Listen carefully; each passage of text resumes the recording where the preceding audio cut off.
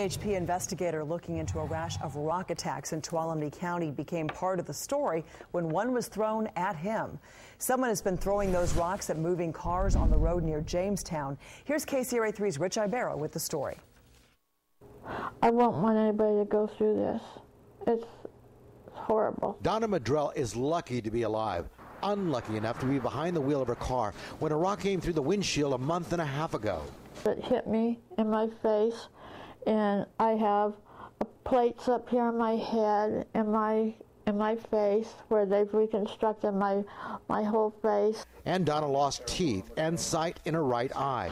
The Highway Patrol is looking for the rock thrower, but even as they were investigating at one site near the Jamestown Cemetery, another rock flew their way.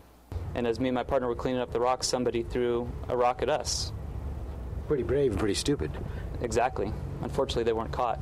So far, there have been eight rock throwing incidents, the last one about a week ago. What they all have in common is that they're all done in the cover of darkness, either in the early morning or at night. However, the last one was done during the day. Donna and her husband Tom say they can forgive, but they can't forget.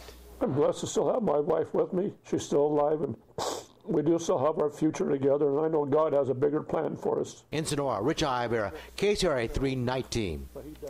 Witnesses who saw the last incident describe a teenage boy in a 1970s white Volvo sedan. But investigators don't know if all of the cases are linked. A $4,500 reward is now offered in the Madrell case.